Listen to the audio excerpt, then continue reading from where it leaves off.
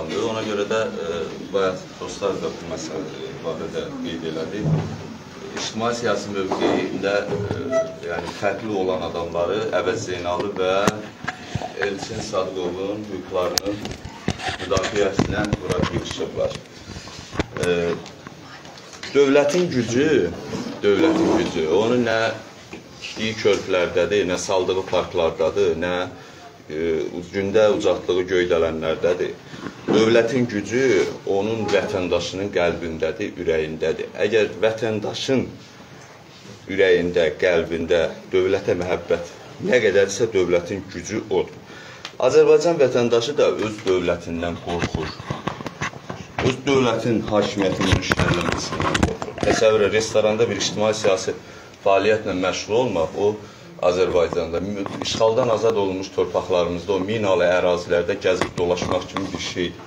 O işğaldan azad olunmuş ərazilərdə zibilliyin də içində gəzsən təhlükəlidir, min ola bilər, güllük, çəmənliyin e, içində də gəzib gəzsən təhlükəlidir, orada da min ola bilər. Ona görə də burada kimin hakimiyyətə yaxındır, kim hakimiyyətlə əlaqəsi var, kimin əlaqəsi yoxdur, bu məsələyə heç bir dəxli yoxdur miniyə hamı düşə bilər. Hər an e, insanların içində, xüsusən ictimai siyasi fəaliyyətlə məşğul olan, jurnalist fəaliyyətlə məşğul olan insanların içində şərlənmək qorxusu var, həyəcanı var. Təsəvvür eləyin, Əvəz Zeynalının bizim yanımızda biz oturmuşduq, İlkin Rüstəmzadə, mən, Şərif Ağayar, dostlar əyləşmişdik, çörək yerdik, prokurorluq əməkdaşları içəri daxil oldu və e, Əvəzi e, redaksiyasında axtarışa getdilər bir travma yaranıb. Bir kim gəlir salam verir, elə bilirəm prokurorluq əməkdaşdır, aparmağa gəldilər. Və yaxud gedib bir sivil bir Avropa ölkəsində bir həkimə, psixiatrə desən ki, mən hər yerdə kamera görürəm, restoranda çörək yeyəndə elə bilirəm yeməyimə zəhər atırlar, hər yer həyatıma daxil olan insanlardan, dostlardan, hamıdan şübhələnirəm. Və səni xəstəxanaya yatırar ki, bu xəstədir. Amma Azərbaycanda belə şeylər niyə xəstəlik hesab olunsun ki? Bunun hamısı mövcuddur.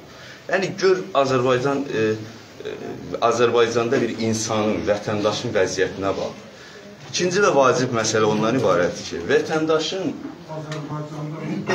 vətən, vətəndaşın müraciət eləyə biləcəyi ən sonuncu instansiya prezidentdir. Prezidentə qədər Azərbaycanda məhkəmə var, hüquq mühafizə orqanları var, müxtəlif polis var.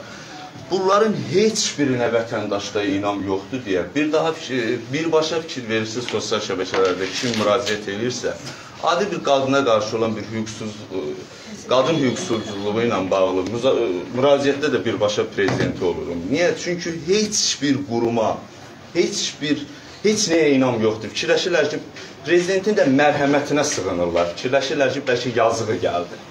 Bax, məsələn, mən Əvəz Zeynalının çıxışlarına baxıram baxırdım, ardıcıl izləyirdim. Onun çıxışlarından da görmək olurdu ki, e, bu məmur təbəqəsi, bunların bir-biri ilə davası, vuruşu, daxili savaşı e, bu mövzularda çox danışırdı. Amma belə hiss edirdin ki, prezidentə güvənir.